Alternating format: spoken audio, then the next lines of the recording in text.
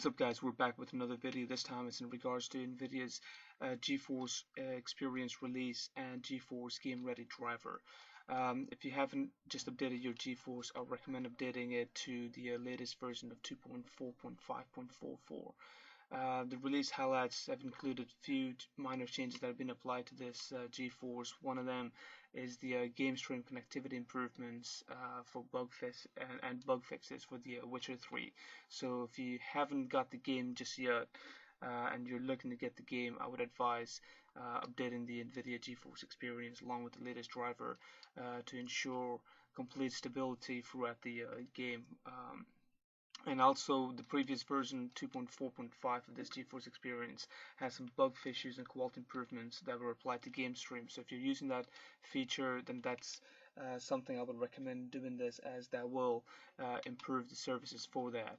Um, and if your laptop is used uh, does have Optimus enabled onto it, uh, it, it, will then be able to uh, do ShadowPlay desktop capture on notebooks now. Uh, now Optimus comes standard with GT, uh, GTX 600 series onwards. Uh, so if you have a card before 600 series, this won't be compatible. So there, there is no reason to upgrade it to the latest NVIDIA GeForce experience. But if you do have anything higher than 600 series, I do recommend as for the driver itself, it is the game-ready driver version 353.06.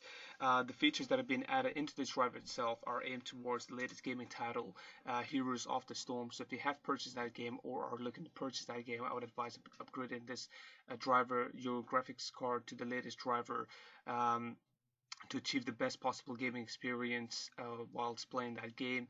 Uh, another feature is the uh, GTX 980 Ti, the latest card that's been released. Uh, it's now fully compatible uh, with this driver so I would advise once again updating that to achieve full performance out of the card itself.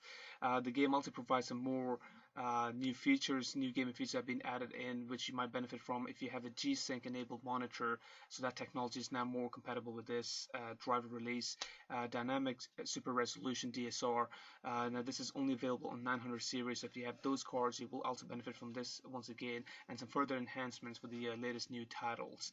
Um, also, they've added a GeForce Experience one-click optimization for the game Heroes of the Storm. So if you are experiencing uh, some sort of lag, you might want to consider clicking on that to optimize it according to the performance of the card itself. Um, to achieve best possible uh, frames when you're playing the game uh, itself. Um, and as previously mentioned, G-Sync technology, uh, which is available uh, to specific to G-Sync monitors uh, that you may have, uh, are now you're able to use in windowed mode as well as full screen. another cool feature that they've added is ultra low motion blur ULMB. this needs to be enabled under NVIDIA Control Panel. So if you right click on your desktop and then click on NVIDIA Control Panel, and simply click on manage 3D settings. Uh, this option will be in here and you will be able to enable it. I don't have it as of right now because I haven't updated the card to the latest driver, uh, but you will benefit from that. Uh, I mean, the reason is if you do have uh, if you do have the um, motion blur enabled uh, within the game settings, sometimes uh, it can cause um, a lot of frame rate rates drop when you're moving around or, or, or open world maps. So I mean enabling it from the NVIDIA control panel will then have lesser impact on the uh, performance of the card itself. So it won't be uh, you won't be losing many frames as you would have when you had this enabled within the uh, game's game video options. Um, so I mean this is it uh, for now guys I would advise updating the, the driver regardless of um, having that game or not because it will help with some of the uh, previous game titles such as Witcher 3 uh, also uh, GTA 5 if you have those games and overall you, you will achieve overall performance from the card regardless of this. Um, Thanks for watching. If there is any questions, just leave a comment down below. I'll try to get back to you guys. In the meantime, make sure you like and subscribe. Peace out.